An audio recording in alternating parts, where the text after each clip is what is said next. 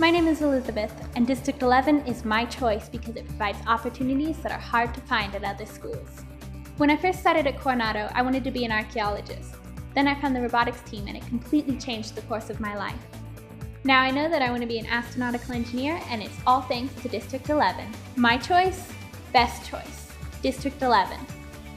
Go to d11.org/choice to find out why D11 is your best choice.